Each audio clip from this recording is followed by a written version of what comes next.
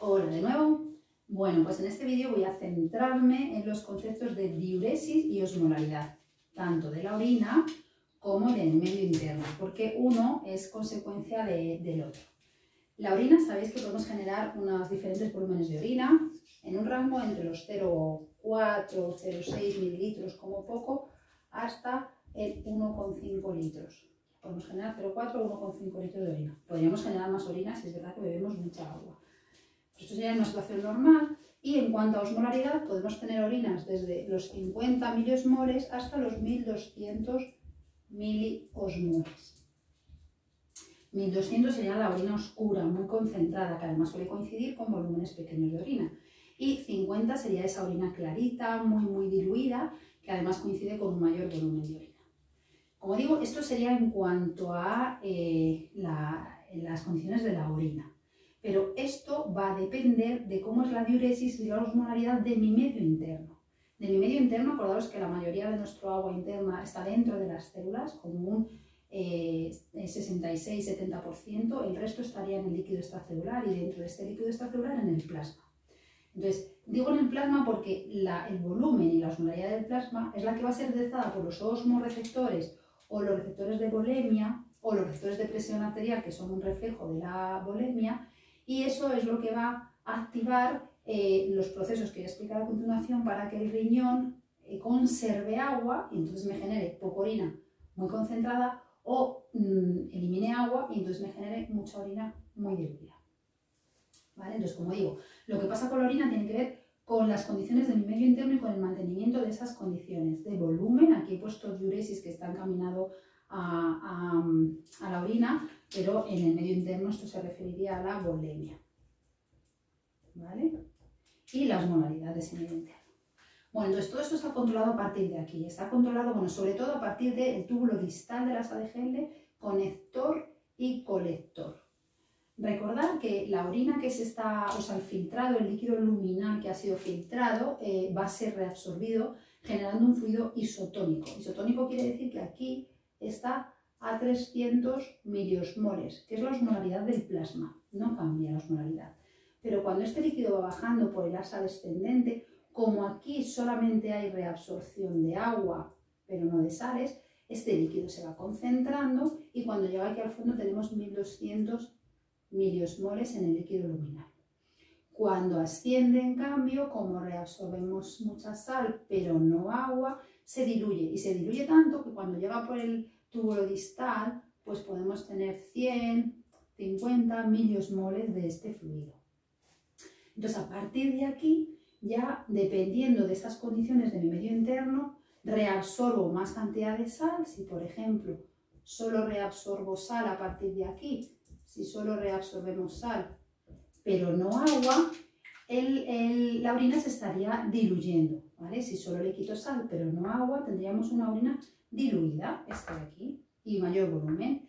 En cambio, si lo que hago es reabsorber agua, reabsorber agua, pero no sales, o bueno, aunque reabsorbamos sal, porque eso no, no lo inhibimos, pero si tenemos un sistema añadido de reabsorber agua, le estamos quitando agua a la orina que se está formando para ser excretada, este agua me pasará a los túbulos de, o sea, a los capilares peritubulares, los volverá a salir por mi vena renal y se quedará en mi medio interno.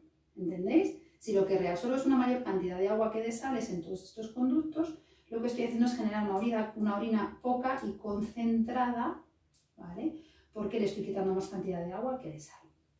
¿De qué depende esto? Pues esto, como os decía en otro vídeo, depende de las hormonas, de la presencia de ciertas hormonas, que van a ser tres. Vamos a tener por un lado la ADH. La ADH es la hormona antidiurética, también llamada vasopresina. Recordad que la estudiamos en el circulatorio porque produce un aumento de la presión arterial. Bueno, pues la ADH lo que va a hacer es señalizar a las células del túbulo distal, conector y sobre todo colector para que coloquen acuoporinas en su membrana.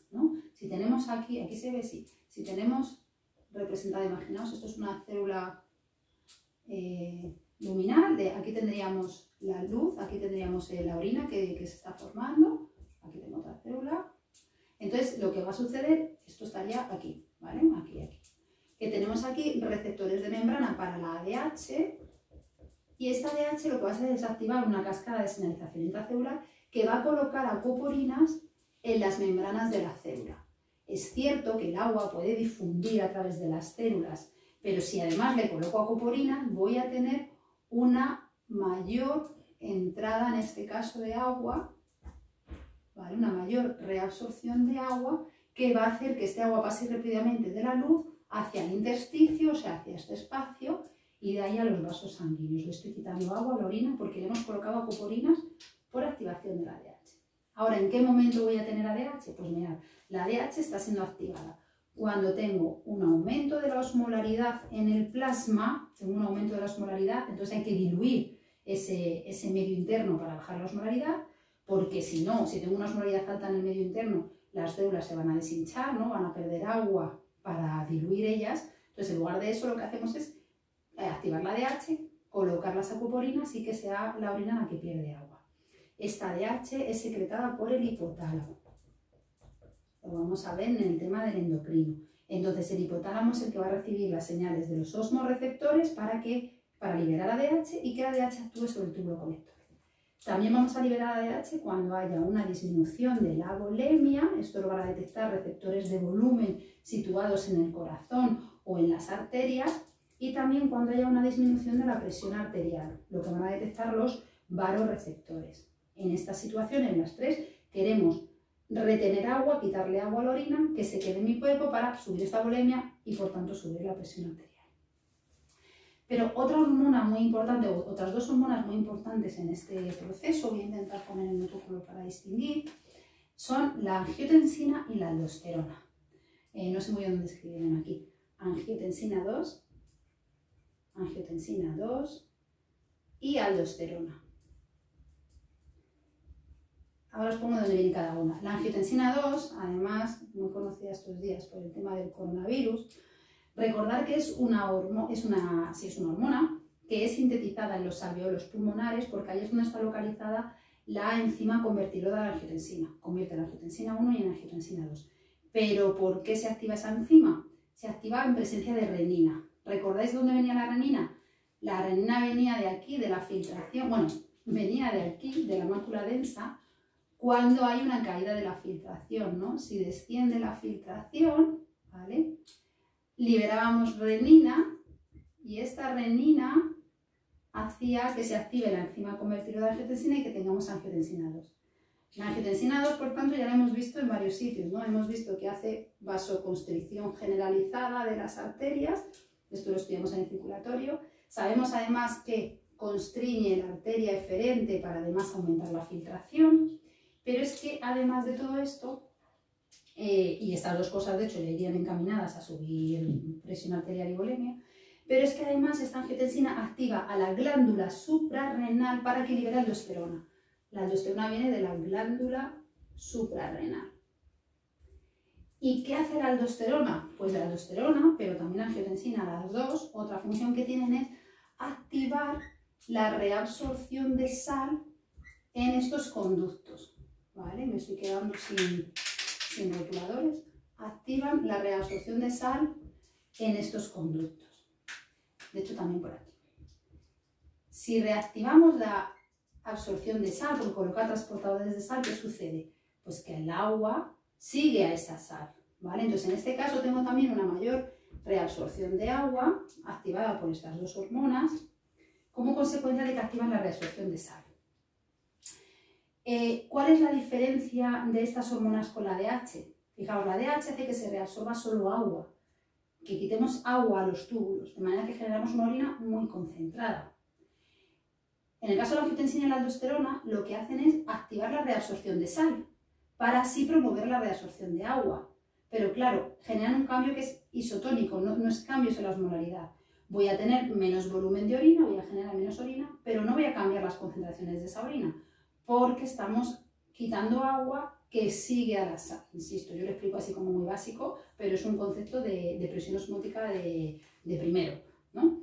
que reabsorbemos sal y por tanto reabsorbemos más agua. Si tengo esto y además tengo ADH, pues entonces sí, reabsorbo sal y agua, reduzco volumen, pero como además tengo el extra de las acuporinas quitando más agua, genero una orina muy concentrada. ¿Vale? Eh, para terminar, eh, ha quedado muy claro de dónde sale la DH. La angiotensina la estamos produciendo por acción de la renina, que se produce cuando cae la filtración y la caída de la filtración viene de que había caído o bien la volemia o bien la presión arterial, o sea, por los mismos motivos que esto, ¿sí?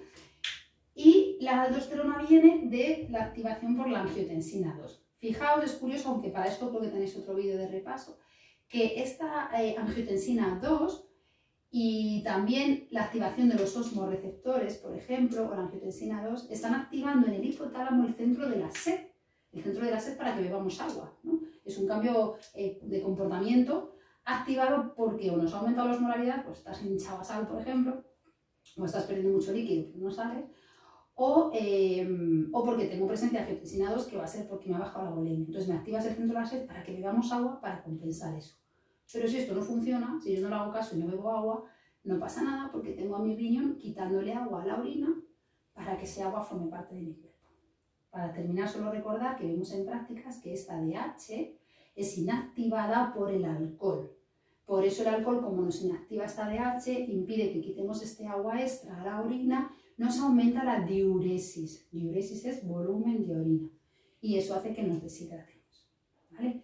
Veremos de todas maneras unos cuantos casos prácticos sobre esto para que lo entendáis bien.